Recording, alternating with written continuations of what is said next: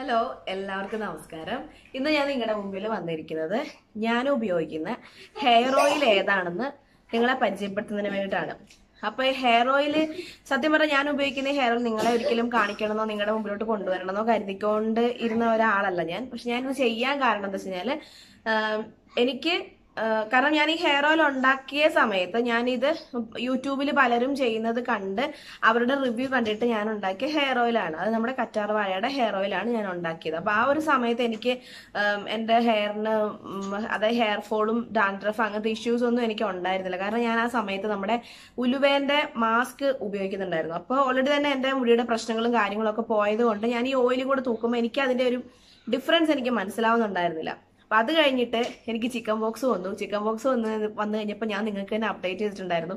എനിക്ക് ഭയങ്കരമായ hair fall ഉണ്ട്. അപ്പം ആ സമയത്ത് നമുക്ക് മാസ്ക് ഒന്നും തല ഉപയോഗിക്കാൻ പറ്റത്തില്ലല്ലോ. അപ്പം ഞാനൊരു ചിക്കൻ ബോക്സ് കഴിഞ്ഞപ്പം എനിക്ക് മൈഗ്രെയിന്റെയും കൂടി ഇഷ്യൂസ് ഉള്ളതുകൊണ്ട് ഞാനൊരു അഞ്ച് ആറ് ദിവസം കഴിഞ്ഞപ്പോൾ തൊട്ട് ഞാൻ എന്റെ തലയിൽ കാരണം ഇതിനകത്തുള്ള മുറി പിമ്പിൾസും തലയിലുള്ള എല്ലാം ഉണങ്ങി തുടങ്ങിയപ്പോൾ ഞാൻ ഈ ഹെയർ ഓയിൽ പിന്നെ എടുത്ത് തലയിൽ തൂക്കാൻ തുടങ്ങി. കാരണം വെച്ചാൽ എനിക്ക് മൈഗ്രെയിൻ പ്രശ്നം ഉള്ളതുകൊണ്ട് തലയിൽ എണ്ണ തൂത്തില്ലെന്നുണ്ടെങ്കിൽ അല്ലെങ്കിൽ തല ആ ഒരു എണ്ണ തൂക്കാതിരുന്ന് കഴിഞ്ഞാൽ എനിക്ക് ഭയങ്കരമായി എനിക്ക് തലവേദനയുടെ പ്രശ്നം വരും. അപ്പൊ ഞാൻ എണ്ണ അതായത് യൂഷ്വലായിട്ട് ഉപയോഗിക്കുമ്പോൾ തന്നെ ഒരു ആറ് ദിവസം ആയപ്പോൾ തൊട്ട് ഞാൻ ഉപയോഗിക്കാൻ തുടങ്ങി. അപ്പം ഹെയർ ഫോൾ എന്ന് പറഞ്ഞു കഴിഞ്ഞാൽ ചിക്കൻ ബോക്സിന്റെ സമയത്ത് ഹെയർ ഫോൾ എന്ന് പറഞ്ഞാൽ ഞാൻ കരുതി ഇങ്ങനെ പോയി കഴിഞ്ഞാൽ ഒരു പത്ത് ദിവസം കൊണ്ട് എന്റെ തലയിൽ ഒരു മുടി പോലും ഉണ്ടാവത്തില്ല. അമ്മാതിരി എനിക്ക് മുടി കൊഴിച്ചിലുണ്ടായിരുന്നു നല്ലപോലെ മുടി കൊഴിച്ചിലുണ്ടായിരുന്നു ഡാൻഡ്രഫ് ആണെങ്കിൽ പറയാൻ വേണ്ട. ഭയങ്കരമായ ഡാൻഡ്രഫ്. അത് ഞാൻ ഇങ്ങനെയൊന്നും ആക്കിയാൽ തന്നെ എല്ലാം കൂടെ ഇങ്ങനെ താഴോട്ട് വരാൻ പാകത്തിൽ ഡാൻഡ്രഫ് ഉണ്ടായിരുന്നു.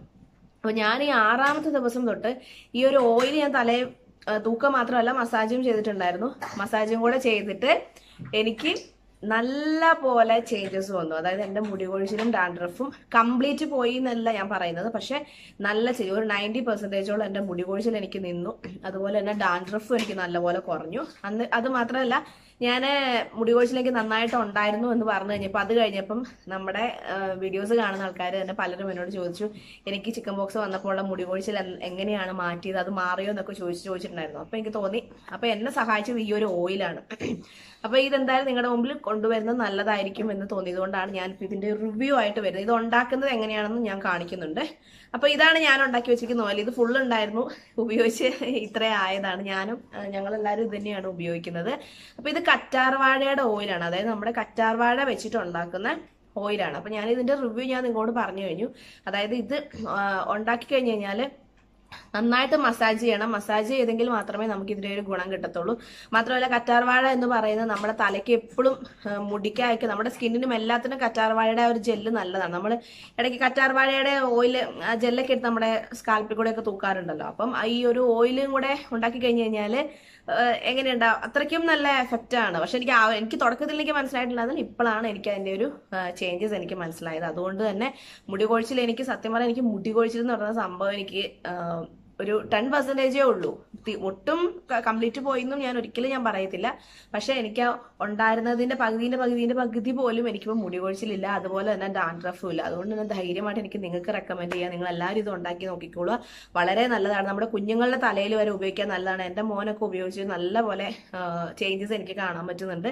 അതുകൊണ്ടാണ് നിങ്ങളെ ഞാനിത് കാണിച്ചു തരുന്നത്. ഓക്കെ അപ്പം നിങ്ങളെല്ലാവരും നോക്കുക കേട്ടോ. എങ്ങനെയാണ് ഉണ്ടാക്കുന്നത്. കറക്റ്റായിട്ട് വളരെ എളുപ്പമാണ്.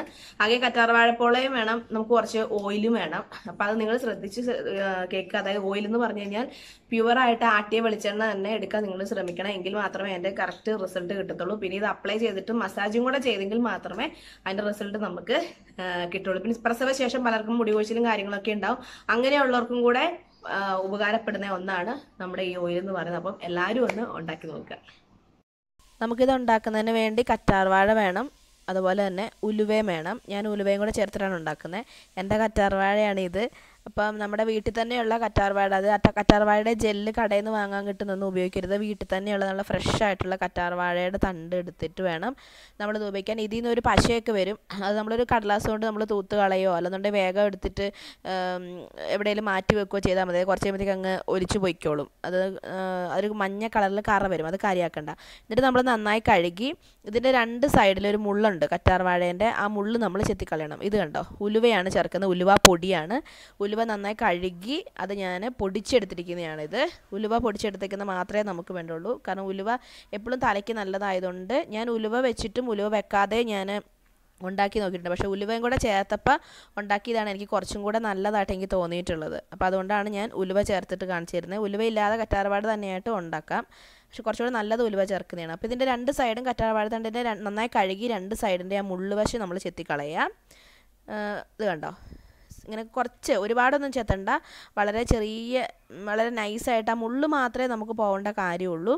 അല്ലാതെ അതിന്റെ ഉള്ളിലത്തെ അധികമൊന്നും ചെത്തിക്കളയരുത് കേട്ടോ. അത്രയും മാത്രം നമ്മൾ ചെത്തിയെടുക്കുക. ചെത്തിയെടുത്തിട്ട് എന്ത് ചെയ്യണമെന്ന് വെച്ച് കഴിഞ്ഞാൽ ഇതിന്റെ മുള്ളു ഭാഗമെല്ലാം കഴിഞ്ഞ് കഴിഞ്ഞാൽ ഇത് വളരെ ചെറിയ കഷ്ണങ്ങളായിട്ട് നമ്മൾ കട്ട് ചെയ്തെടുക്കണം.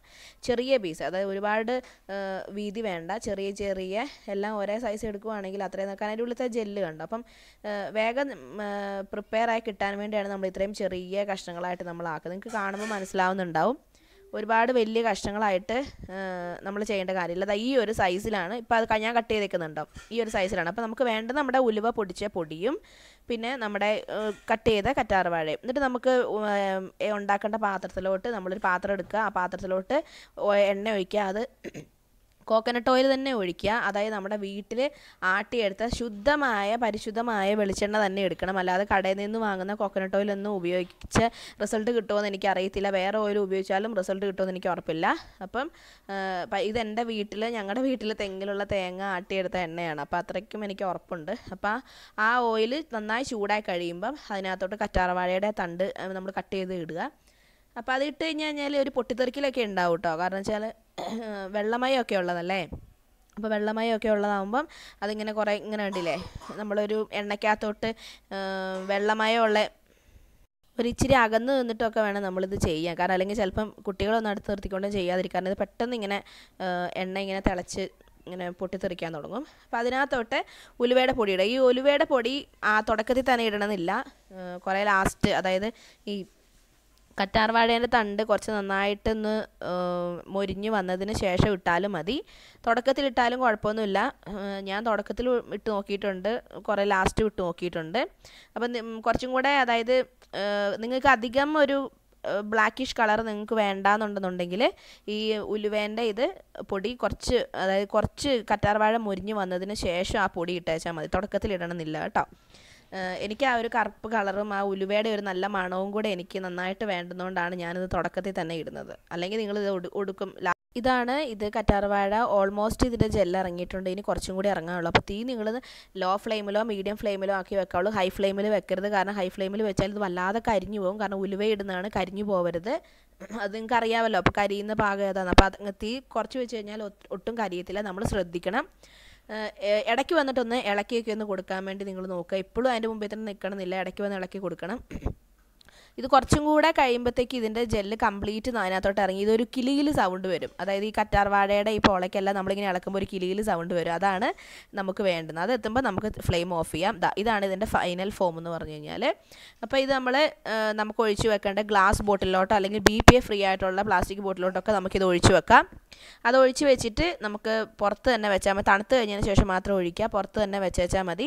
ഫ്രിഡ്ജിലൊന്നും വെക്കണ്ട. എത്ര നാൾ വേണേലും ഉപയോഗിക്കാം. നന്നായി മസാജ് ചെയ്ത് തലയെ തൂത്ത് കഴിഞ്ഞാൽ നല്ല പോലെ മുടി കൊഴിച്ചിൽ മാറിക്കിട്ടും തലയിലെ ഡാൻഡ്രഫ് മാറിക്കിട്ടും. അപ്പോൾ കരിയാതിരിക്കാൻ എല്ലാവരും ശ്രദ്ധിക്കുക. അപ്പോൾ എല്ലാവർക്കും ഈ വീഡിയോ ഉപകാരപ്പെട്ടു എന്ന് കരുതുന്നു. നിങ്ങൾ എല്ലാവരും ഉണ്ടാക്കി നോക്കുക. കുഞ്ഞുങ്ങൾക്കും ഉപയോഗിക്കാം നമുക്കും ഉപയോഗിക്കാം ആർക്കും ഉപയോഗിക്കാം. അപ്പോൾ വീഡിയോ നിങ്ങൾക്ക് ഇഷ്ടപ്പെട്ടെങ്കിൽ നിങ്ങൾ ലൈക്ക് ചെയ്യുക ഷെയർ ചെയ്യുക. പുതിയൊരു വീഡിയോയുമായിട്ട് നമുക്ക് കാണാം. അപ്പോൾ ഒന്നും കൂടെ പറയുന്നു. കരിഞ്ഞു പോകാൻ നിങ്ങൾ കരിഞ്ഞു പോകാതെ ശ്രദ്ധിച്ചോളൂ കേട്ടോ. Okay tata.